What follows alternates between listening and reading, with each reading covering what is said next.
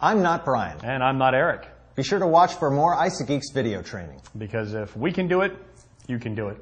That sounded more inspiring on paper. I know.